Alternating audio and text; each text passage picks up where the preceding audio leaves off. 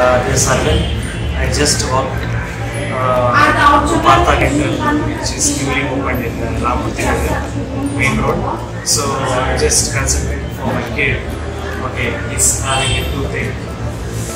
Tooth got eroded.